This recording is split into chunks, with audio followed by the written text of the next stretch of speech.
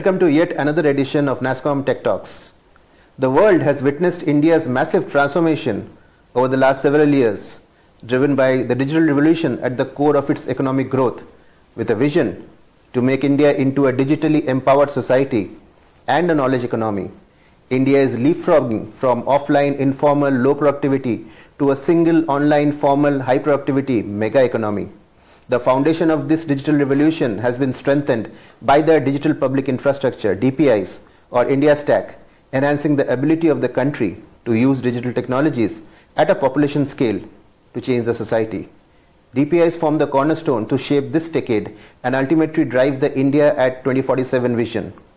Earlier this year, NASSCOM, in partnership with Arthur D. Little, launched a report titled Digital Public Infrastructure of India Accelerating India's Digital Inclusion which is a first of its kind report providing a holistic view of the Indian DPI ecosystem, analyzing the past, present, and the future impact of these DPIs. We found that mature digital entities such as Aadhaar, UPI, FASTag are estimated to have enabled value creation to the tune of 0.9% to India's GDP in 2022.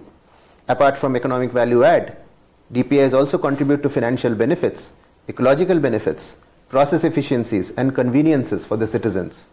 Further, over 30 countries are either adopting or are in an early discussion stages to implement Indian DPIs to solve similar social and economic challenges.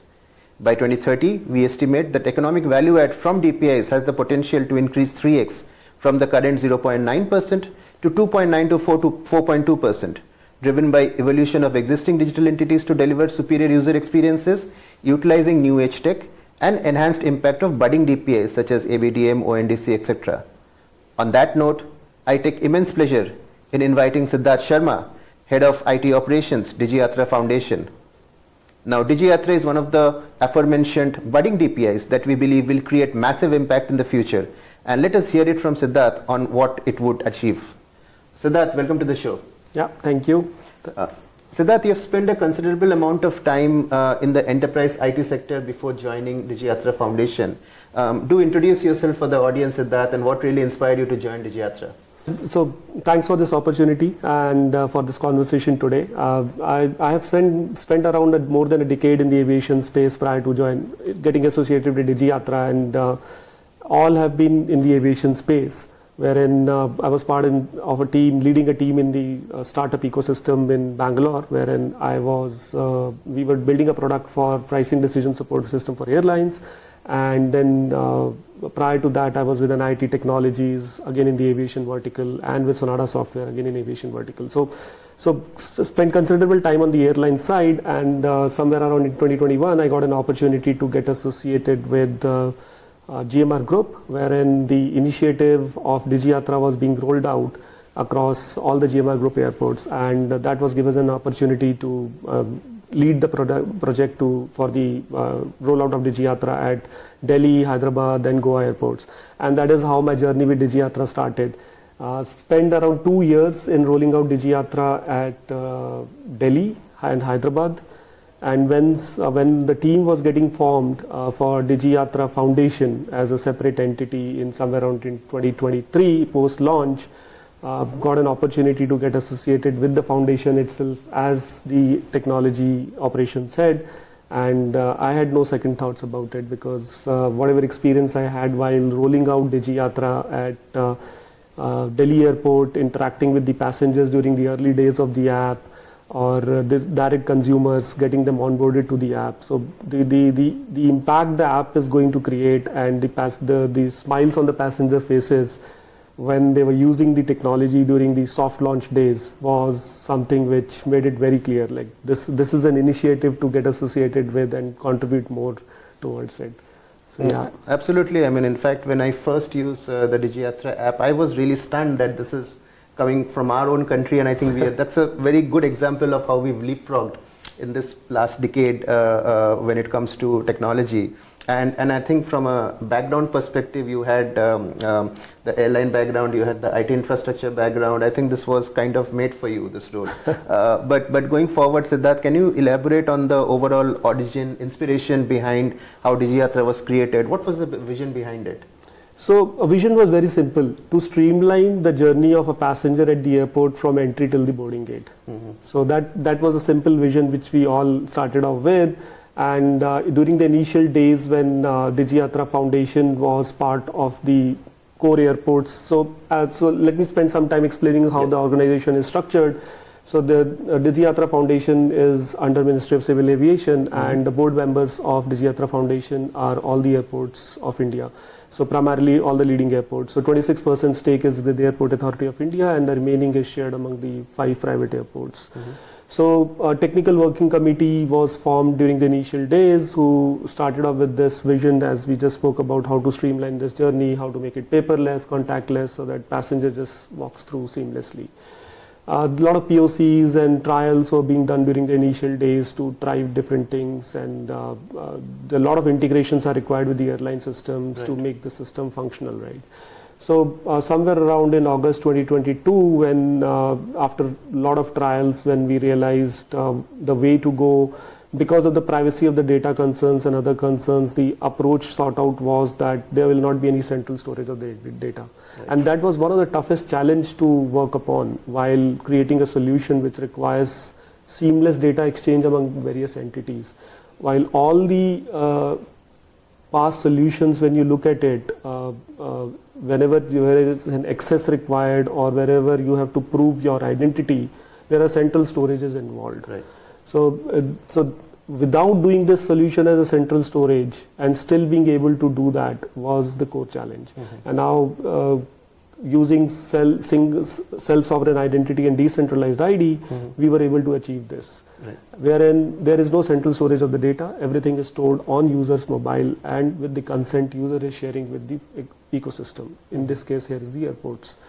So yeah, so the vision being this, when uh, 2022 it was launched, the app approach was launched, and uh, the trials were being done.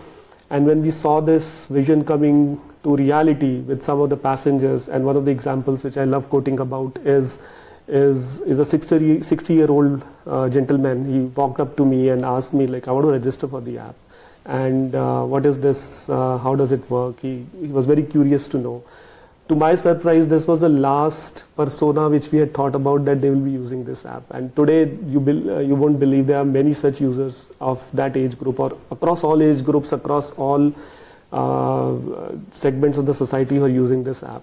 Uh, so, so again, coming back to the story, so he walked up to me and asked. We register. I registered him. It took around two three minutes to register on the app, and then uh, sharing the data with the origin airport, which in this case was Delhi. And then I told him that now you just walk through the gate. So he was very uh, suspicious and skeptical about it. Like, will it work? Will it like I will show my face and the gate will open and I'll be able to cross? I said yes, that that's what will happen. And so he uh, he walked up to the gate. He scanned the boarding pass, showed his face, and the gate opened. And he crossed the gate. And the moment he crossed the gate, the words from his uh, from him were "Kamal ho gaya, maza aa gaya." it's magical. So he so so these are the kind of stories. And then the and then when you were seeing those some some of the kids trying to do it and they're fiddling with the e gates and all, and then they are seeing the gate opens and they cross. So so all these uh, actually uh, were true and that's what the vision were and then when we saw it happening and realizing in reality there were a lot of hit and trials were with, uh, there were a lot of uh, and trials and uh, scenarios which were getting sorted out during those days also because between august and december when the actual launch happened there were a lot of uh, fine tuning of the application and other things was done but yeah so that that was the vision and we realized it in, in the most privacy preserving manner uh, which is uh, there is no data with any of the partners in the ecosystem. Sure. I think that's a great story uh, and a use case for uh, you know using DigiYatra. Um, and and when we're talking about KPIs, right? I mean, where are we in this journey today? I mean, what have we achieved up till now? Um, you know, uh, in terms of reach, impact, you know, KPIs. What are the things that you think that are milestones that you have actually covered in this Oh. journey in the last two years? Oh, so yeah, good good question. So uh, it got launched in so 15 months to say it's not yet two years. Yeah, yeah, yeah. so got launched in December 2022 officially uh, at uh, three airports: uh, Delhi, Bangalore, and Varanasi. From there, the journey now today stands at 14 airports. Mhm. And uh, there will be 14 more airports coming soon to the ecosystem, so which will take the count to 28. Uh, so in terms of the growth at the airports, yes, we have consistent growth, uh, which uh, obviously is also reflected in the numbers.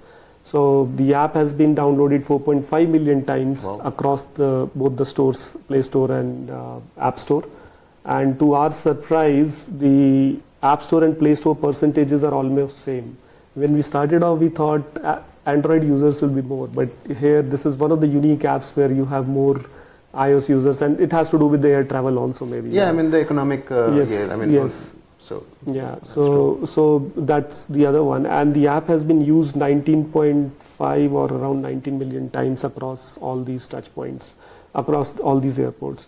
Now, why I'm saying this that the app has been used these many number of times because I will not be able to give a KPI wherein how many unique users have used it because there is as as coming back to the original, there is no central storage of the data. We don't Right. know uh, how many times Siddharth had taken a flight from any particular airport. So yeah, so the app usage is in terms of how many times it has been utilized. Yeah, and you see across if you do the airports. basic math, four and nineteen, so almost five times each person has kind of used roughly. So I think that's a good yeah. uh, use case for this. Correct. So uh, again, let me. Uh, the other thing which we had in mind uh, in terms of the KPI and uh, was uh, uh, the data privacy thing itself, right? So is is uh, are we able to push through this message of that, that the app is the most secure uh, approach of using uh, any of the ID provide ID which is there. We're coming to that Yeah. question on, and I think it's it's a very young app, right? Less than two years old, Yeah. as you said, 15 months. Uh, uh, but because it's used so frequently, right, everywhere, um, I'm sure you would have faced some challenges, some usage Mhm. challenges. Uh, so how did you basically? What are the challenges you faced, and how did you surmount them? Perfect. Good, good question again. Uh, the challenges because yeah, so any data related solutions these days, one of the biggest challenges privacy. Exactly. Everybody thinks that any solution which is getting built with your biometrics or your uh, uh, Aadhaar data or any such data which we are taking will have a central storage and uh, wi- wi- without which it is not possible to validate and to do the use cases. However, that's not true in case of DigiYatra, and that's one of the toughest challenge. Which till date, that's one of the toughest challenge. A lot of learning is to be uh, learning exercises have to be done with the users to explain this whole concept of decentralized IDs and how does it work, and uh, uh, the, the use cases can be achieved without having any data in our system. So I'll, I'll maybe spend some time explaining the whole how does it work in interest of everyone.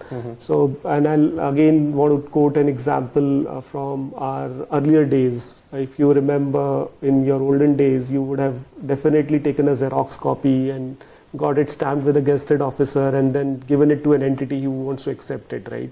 So here the circle of trust was being built, built between those three entities: the user, the entity who is going to accept the ID, and then also uh, the the gazetted officer who stamped it. So similar concept is at work here as well. So on one side is the passenger or the user, and uh, the other side is the airport or the verifier who verifies your ID. And in center is the DigiYatra Foundation. Now, what DigiYatra Foundation has achieved is it, it's not your another just another travel app. It is a digital wallet which actually stores like your Xerox copy, which can be one copy, but however, it, your digital wallet stores something called verified credential. And this verified credential is a credential which is Yatra Foundation has stamped for the authenticity. Once you pull your data from UIDAI or Aadhaar system and your selfie is matched while getting onboarded onto the app, uh, once the selfie is successfully matched, it sends back to the back uh, blockchain of the DigiYatra Foundation where a hash value is created saying that yeah, it is proof, it is approved by DigiYatra Foundation and a proof value is being sent back to the digital wallet of the user saying that yeah, whenever you want to share it with some entity who will accept it in future, that will be uh, a validated ID. And the airports are also onboarded onto the ecosystem uh, through a process wherein uh, they are onboarded as a verifier.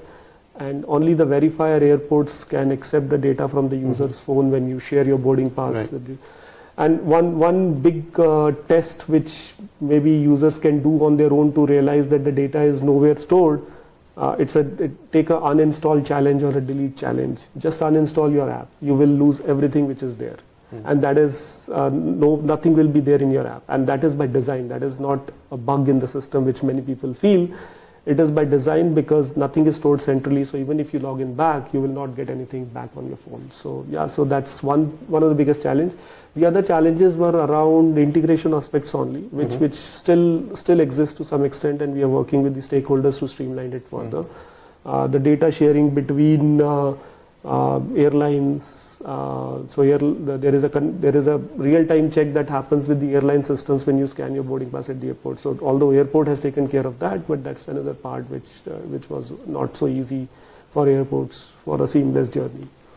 Agree. No, I think uh, this may be the most used blockchain application in India, I guess. Uh, blockchain involving application in India, I guess. That is true, and some people tell us globally as well. People in the Hyperledger Okay. Foundation and elsewhere uh, who who are talking about single sovereign identities, or in fact, I was one of the summits in IATA the other day, and uh, they also saying that this is one of the use cases in the travel industry which is being talked about a lot uh, as uh, as a good example of IATA One ID, because IATA One ID is also trying to do something similar of seamless passenger uh, experience across all the touchpoints at the airport. Yeah, so, so- yes.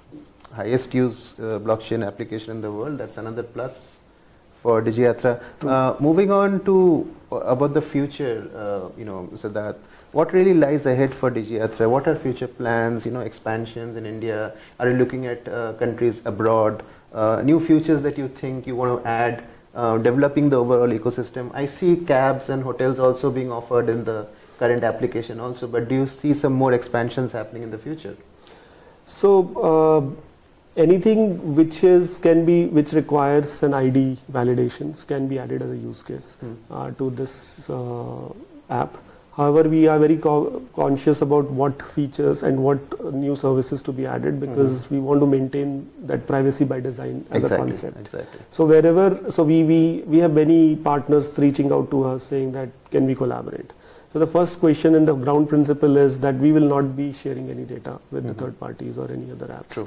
If it can be done in a data in the privacy preserving manner, then uh, the use case is open. However, yes, we are taking it very slow. Uh, we are expanding in the airport ecosystem for sure. So one is definitely the linear growth as many airports as possible in India to first and to cater to those. Mhm. Then uh, within the airport, in the travel ecosystem itself, international international flow is what we are exploring and talking to various entities. Uh, how do we enable that? Because uh, everything has to be automated and the data sharing has to happen between various entities. So that is another one.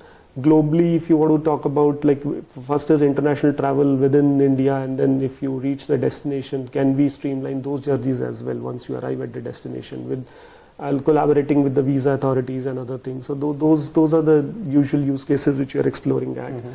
One of the one which uh, comes to our mind and when ma- many of our users talk about is uh, uh, can we streamline hotel check-in? Because the same documents are being involved there and instead of giving my Aadhaar physical copy. I think that's a great uh, use case. yeah so in, so anywhere we have when when you're thinking about giving your Aadhaar copy why give your Aadhaar copy when the thing can be done with a zero knowledge proof of Digiyatra app? So those are some thought processes which we have and those uh, as uh, with, with our stakeholders we are discussing those whatever will be relevant one will be picked up and in these lines Great, good, good to see some of these things uh, come together. Um, and, and thank you for coming to our studio and sharing this short synopsis about the past, present, and future of DigiYatra, Siddharth. thank Um, Viewers, you've, you've, have you all downloaded the all new DigiYatra app? Uh, if not, please do it right away. Use DigiYatra. It makes the airport experience completely frictionless and hassle free. The app download link is below in the description box. And in case you have not downloaded the NASSCOM report on impact of DPIs on India's economy, that report link is also below in the description box. Go check it out. And also our other videos on the Indian tech sector. To receive instant notifications on when we post new videos on our channel, be sure to click the bell icon and if you found this video interesting, please share it with your friends and colleagues. That's all for now and see you soon in the next video.